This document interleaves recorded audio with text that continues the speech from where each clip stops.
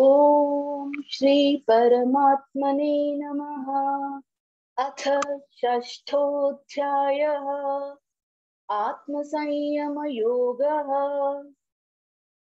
श्रीभगवानुवाच। अनाश्रितः कर्मफलं कार्यं कर्म करोति यः। स सन्न्यासी च योगी च, न निरग्निर्न चाक्रियः। यं सन्न्यासमिति प्राहुः। योगन्तौ विद्धि पाण्डव न ह्यसन्न्यस्तसङ्कल्पः योगी भवति कश्चन। आरुरुक्षोर्मुनेर्योगं कर्म कारणमुच्यते योगारूढस्य तस्यैव शमः कारणमुच्यते।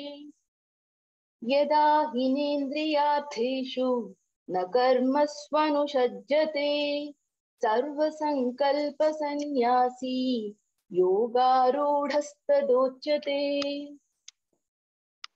उद्धरेदात्मनात्मानं नात्मानमवसादयेत् आत्मैव ह्यात्मनो बन्धुः आत्मैव रिपुरात्मनः। बन्धुरात्मात्मनस्तस्य अनात्मनस्तु शत्रुत्वे वर्तेतात्मैव शत्रुवत्। जितात्मनः प्रशान्तस्य परमात्मा समाहितः। शीतोष्णसुखदुःखेषु तथा मानापमानयोः। ज्ञानविज्ञानतृप्तात्मा कूटस्थो विजितेन्द्रियः युक्त इत्युच्यते योगी समलोष्टास्मकाञ्चनः सुहृन्मित्रार्युदासीनमध्यस्तद्वेष्य बन्धुषु साधुष्वपि च पापेषु समबुद्धिर्विशिष्यते। योगी युञ्जीत सततम्, आत्मानं रहसि स्थितः एकाकीयत चित्तात्मा निराशीरपरिग्रहः शुचौ देशे प्रतिष्ठाप्य, स्थिरमासनमात्मनः। नात्युच्छ्रितन्नातिनीचं, चैलाजिनकुशोत्तरम्।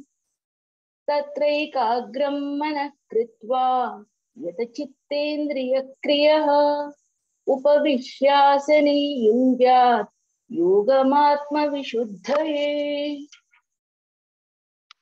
समङ्काय शिरो ग्रीवं धारयन्नच्चलं स्थिरः। सम्प्रेक्ष्य नासिकाग्रं स्वं दिशश्चानवलोकयन्। प्रशान्तात्मा विगतभीः ब्रह्मचारिव्रते स्थितः मनः संयम्य मच्चित्तः, युक्त आसीत मत्परः। युञ्जन्नेवं सदात्मानं, योगी नियतमानसः शान्तिर्निर्वाणपरमां मत्संस्थामधिगच्छति। नात्यश्नततस्तो योगोऽस्ति न चैकान्तमनश्नतः न चाति स्वप्नशीलस्य, जाग्रतो नैव चार्जुन। युक्ताहारविहारस्य, युक्तचेष्टस्य कर्मसु, युक्तस्वप्नावबोधस्य, योगो भवति दुःखः। यदा विनियतं चित्तम् आत्मन्येवावतिष्ठते, निःस्पृहः सर्वकामेभ्यः युक्त इत्युच्यते तदा। यथा दीपो निवातस्थः निङ्गते सोपमा स्मृता। योगिनो यतचित्तस्य, युञ्जतो योगमात्मनः। यत्रो परमते चित्तं निरुद्धै योगसेवया यत्र चैवात्मनात्मानं पश्यन्नात्मनि तुष्यति सुखमात्यन्तिकै यत्तद् वेत्ति यत्र न स्थितश्चलति तत्त्वतः। यल्लब्ध्वा मन्यते यस्मिन् स्थितो न दुःखेन गुरुणापि विचार्यते तौ विद्या दुःखसंयोग वियोगैयोगसन्नितम् स निश्चयेन योक्तव्यः, योगो निर्विण्णचेतसा। सङ्कल्पप्रभवान् कामान् त्यक्त्वा सर्वान् शेषितः मनसैवेन्द्रियग्रामं विनियम्य समन्ततः शनैः शनैरुपरमेद् या आत्मसंस्थं मनः कृत्वा न किञ्चिदपि चिन्तयेत्। यतो यतो निश्चरति मनश्चञ्चलमस्थिरम् ततस्ततो नियमैक्यद्। आत्मन्येव वशन्नयेत्। प्रशान्तमनसं हीनं, योगिनं सुखमुत्तमम्। उपैति शान्तरजसं, ब्रह्मभूतमकल्मषम्। युञ्जन्नेवं सदात्मानं, योगी विगतकल्मषः। सुखेन ब्रह्म संस्पर्शम्, अत्यन्तं सुखमश्नुते सर्वभूतस्थमात्मानं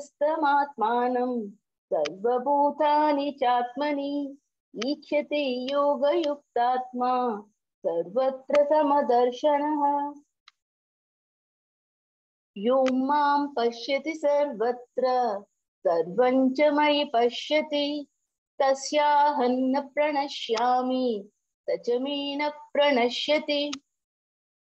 सर्वभूतस्थिते यो माँ भजत्येकत्वमास्थितः सर्वथा वर्तमानोऽपि स योगी मयि वर्तते आत्मौपम्येन सर्वत्र समं पश्यति योऽर्जुन, सुखौ वा यदि वा दुःखं स योगी परमो मतः। अर्जुन उवाच यो योगस्त्वया प्रोक्तः साम्येन मधुसूदन एतस्याहं न पश्यामि, चञ्चलत्वा स्थितिं स्थिराम्। चञ्चलं हि मनः कृष्ण प्रमाधिः बलवदृढम् तस्याहं निग्रहं मन्ये, वायोरिव सुदुष्करम्। श्रीभगवानुवाच।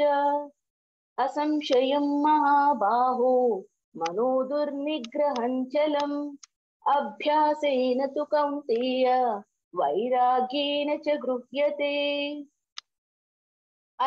असंहितात्मना योगः दुष्प्राप इति मे मतिः। पश्यात्मना तु यतता शक्यो वाप्तुमुपायतः। अर्जुन उवाच। अयति श्रद्धयोपेतः योगाच्चलितमानसः अप्राप्य योगसंसिद्धिं काङ्गचित् काङ्गति कृष्ण गच्छति। कच्चिन्नो भयविभ्रष्टः चिन्नाभ्रविमविनश्यति अप्रतिष्ठो महाबाहो, विमूढो ब्रह्मणः पदि। संशयं कृष्ण। छेत्तुमर्हस्य शेषतः त्वदन्यः संशयस्यास्य छेत्ता न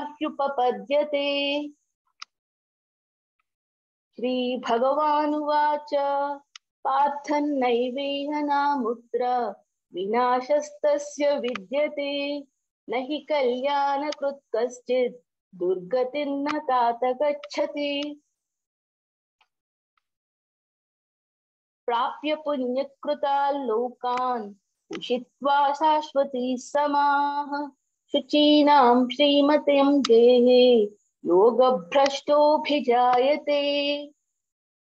अथवा योगिनामेव कुले भवति धीमताम्।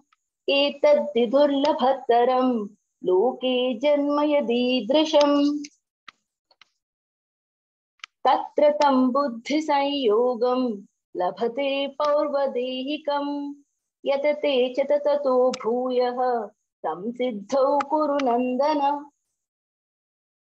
पूर्वाभ्यासेन तेनैव क्रियते ह्यवशोऽपि सः। जिज्ञासुरपि योगस्य वर्तते। प्रयत्नाद्यतमानस्तु। योगी संशुद्ध किल्बिषः। अनेकजन्म संसिद्धः ततो याति पराङ्गतिम् तपस्विभ्योऽधिको योगी, ज्ञानिभ्योऽपि मतोऽधिकः।